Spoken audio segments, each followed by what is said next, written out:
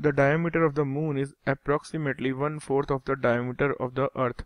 Find the ratio of their surface area. तो हमें क्या गिवन है diameter of moon is equal to approximately one fourth of the diameter of earth तो it means हमें question में already given है let say D is diameter तो diameter of moon तो diameter of moon is equal to what diameter of earth by four approximately one fourth है तो diameter of earth by four सबसे पहले हमें क्या गिवन है? हमें सरफेस एरिया कंपेयर करना है, ठीक है? तो सरफेस एरिया ऑफ़ हमारा अर्थ कितना हो जाएगा? तो surface area of earth is equal to what हो जाएगा four pi r square r क्या होता है? डायमीटर ऑफ़ अर्थ तो डायमीटर ऑफ़ अर्थ को मैं क्या लिख सकता हूँ? डी ई से रिप्रेजेंट कर सकता हूँ।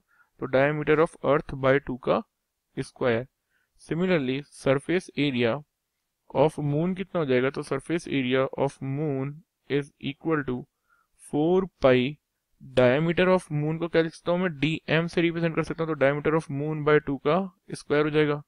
तो ये वैल्यू सिंप्लीफाई करने पे हो गई पाई डी ई स्क्वायर के इक्वल और ये हो जाएगी पाई डी एम स्क्वायर के इक्वल तो और अगर हम देखेंगे, अब हमसे क्वेश्चन में क्या पूछा है? सी तो हमें बताना है कि find the ratio of their surface area तो ठीक है? तो surface area of earth upon surface area of moon क्या हो जाएगा?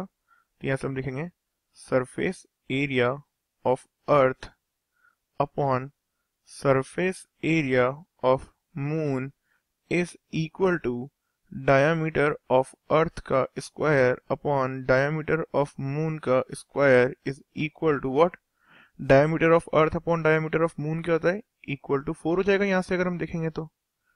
सी, फोर को मैं इस साइड लेकर मून को इस साइड ले आया तो आगेगा diameter of earth upon diameter of moon is equal to four तो इनडायरेक्टली क्या लिखा हुआ ये?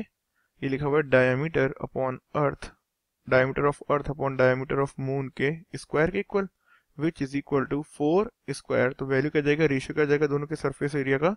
तो इट इज़ इक्वल टू 16 तो answer for this question is equal to 16